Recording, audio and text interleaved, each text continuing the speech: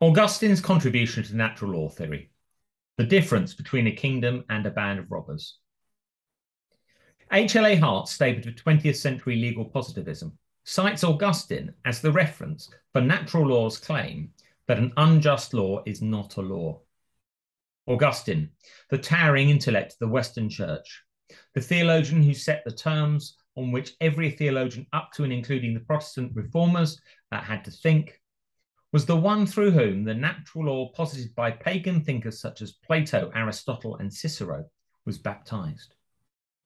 Hart sets out in a footnote the Latin text which he has translated as an unjust law is not a law. It reads, Nam lex mihi esse non vedita, quae justa non ferit. And is better translated, for a law that would was not just would not seem to me to be a law. The quotation comes from a passage in Augustine's work on the free choice of the will, written between 388 and 395 AD. The work is presented in the form of a dialogue between Augustine and his discussion partner, Evodius. In it, Augustine suggests it would be better to declare that a law is not a law at all than to say that it is a law, but is an unjust law. Further on, Augustine says nothing in the temporal law is just and legitimate which human beings have not derived from the eternal law. When Augustine then adopts Ulpian's classical definition of justice as the virtue by which each receives his due. The eternal law, revealed in creation and in the Bible, supplies the content for what is due to people. Temporal laws, that is to say, laws made by human beings, must be derived from the eternal law though they may, Augustine concedes, permit things for the sake of the common welfare, leaving many things unpunished and to be redressed by God.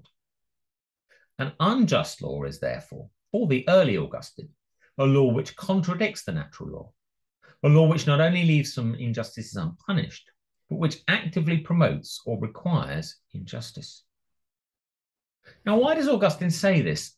What problem was he trying to address? Augustine wasn't a philosopher of law, he wasn't a constitutional theorist. In on the free choice of the will, as its title suggests, Augustine was trying to understand how human beings have free will. In that context, the relevant question to ask of any law is this Ought I to obey this law? Am I bound in conscience to obey this law? And Augustine's answer is if the law is unjust, you ought not to obey it laws claim to have authority. Any law comes with the claim that obeying the law is the right thing to do, or at least that obeying the law is not the wrong thing to do. The contemporary legal philosopher Robert Alexy calls this claim the claim to moral correctness. A law whose claim is obviously false because it's wholly unjust is totally lacking in the authority it claims to have. And therefore, the answer, ought I to obey this law, is no. Now, Augustine returned to the question of the relationship between law and justice later in his career. 20 or 30 years after he wrote on the free choice of the will, he produced his masterwork, The City of God, written between 413 and 426 AD. In that work, and in particular in Book 19, Augustine develops a sustained attack on the Pax Romana and the systemic claim to moral correctness made by the Roman Empire. Now, The City of God is not a work of political philosophy, still less is it a textbook on jurisprudence. It's a work of rhetorical theology, seeking to defend Christianity against the charge that it was Christianity which was responsible for the destruction of the millennial Roman Empire. The Roman Empire claimed that its laws were just, that its laws were an almost perfect reflection of the natural law and of the law of the nations. Augustine sets out in the City of God to demolish these claims. Justice, justitia in Latin, was for Augustine already a technical theological term. It was the Latin word used to translate the Greek word dikaiosune, used in the New Testament writings to describe the work of Jesus Christ. Dikaiosune is translated in most English Bibles as righteousness, but in Latin it was translated as justice. Augustine denied that the epithet justice could be applied to the Roman Empire. Even under Constantine, the emperor who converted to Christianity and his successors. For Augustine, as a matter of theology, God alone is just, and true justice is to be found only in Christ. Human justice is on such a different level from divine justice that it's not even worthy of being called by the same name. Augustine's conclusion was therefore that only a perfect society, only a heavenly city, could properly be called just. Earthly societies were united not by a common understanding of justice, but rather by the common objects of their love, whose commonality enabled the achievement of a relative degree of peace in the society. This meant that Roman courts did not dispense true justice, but enforced Roman law in order to preserve an unstable peace. Now, Augustine's refusal to ascribe any semblance of justice to the Roman Empire is rhetorical hyperbole. He's using it to make a point. Measured against God's standards of justice, Roman law fell short. For Augustine, natural law is a critical, objective standard against which any legal system can be measured. Although Augustine refused to use the term justitia with regard to the Roman Empire, he was prepared to talk about love and peace in ways which recognize an analogy between rightly ordered loves and disordered loves, between perfect peace on the one hand and imperfect peace on the other. So we might think in terms of perfect justice, which belongs only to God, but then relative justice, which has a degree of validity in stabilizing human affairs. And there's one final quote from Augustine, which has continued to stimulate discussion amongst legal philosophers the present day. In Book 4 of The City of God, Augustine asks this question Justice being taken away, what are kingdoms but great robberies? And what are robberies themselves but little kingdoms? Now, this question is prompted by a famous story of what a captured pirate said to Alexander the Great. The text in the City of God, Book 4, Chapter 4 reads like this Justice being taken away, then, what are kingdoms but great robberies? What are robberies themselves but little kingdoms? The band itself is made up of men. It is ruled by the authority of a prince. It is knit together by the pact of confederacy. The booty is divided by the law agreed on. If by the admittance of abandoned men, this evil increases to such a degree that it holds places, fixed abodes, takes possession of cities, and subdues peoples, it assumes more plainly the name of a kingdom, because the reality is now manif- manifestly conferred on it, not by the removal of covetousness, but by the addition of impunity. Indeed, that was an apt and true reply which was given by, to Alexander the Great by a pirate who'd been seized.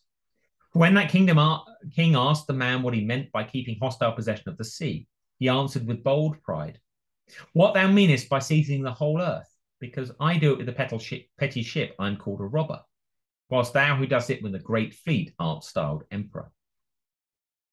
What's the moral of this story? Is the moral that the only difference between a kingdom and a band of robbers is one of size? Is the moral that justice is the key difference between a kingdom and a band of robbers? And therefore, only if a kingdom pursues justice in its laws are those laws authoritative. Nigel Simmonds challenges legal positivism in his book, Law as a Moral Idea, on the basis that law is only intelligible as law, is only experienced as law rather than mere violence, insofar as it makes a plausible claim that its enactments are right. If there's no plausible reason for regarding a law as just, it's simply a declaration of the circumstances in which the government intends to impose its will. Now, my reading is that Augustine was making a more subtle and surprising point. Any organization, in order to be successful, has to operate according to laws. Robber bands have a legal system inter se. If authority consent an agreement as to how to share the spoils break down, you end up with everyone killing everyone else, as happens in the film Reservoir Dogs. We can find in band, Augustine's band of robbers argument three strands or three dimensions to law's authority. First, the claim to have a right to make the rules. The robber band is ruled by the authority of a prince. Second, the claim that the rules are morally in order the moral band, the robber band is knit together by a pact of confederacy.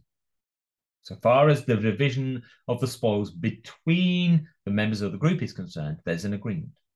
And third, the rules are followed by those to whom they apply. The booty is then divided according to the law agreed on.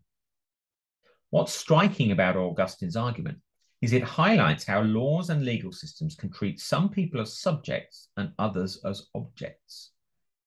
Social life, even amongst a band of robbers, depends on discipline and cooperation. It requires the propagation of a view of justice with regard to the internal division of spoils, but this may be pursued at the expense of those who are not part of the band. From this reading, Augustine contends that systems of rules may constitute legal systems normative for those who benefit from them, whilst at the same time amounting to nothing more than violence towards those who are only exploited by them. To put it in blunt terms, a system which allows chattel slavery is a legal system for those who are not enslaved, but it is simply a regime of organized violence for those who are enslaved. As such, the unjust laws have no moral authority over those who are enslaved offering them no benefits and no protection against violence, the enslaved have no reason to obey those laws. To recap, Augustine sees justice as essential to law. Rules only amount to laws if they make a plausible claim to be morally in order. Rules which do not make such a claim are not laws. Rules which make such a claim, but whose claim fails, are not authoritative. They need not be obeyed. Legal systems can treat some people as subjects and others as objects. They can offer a vision of justice to which uh, those who benefit from the system uh, can enjoy, whilst also failing to prevent others from being oppressed, excluded, or violated. Such laws are abhorrent because they're contrary to natural law.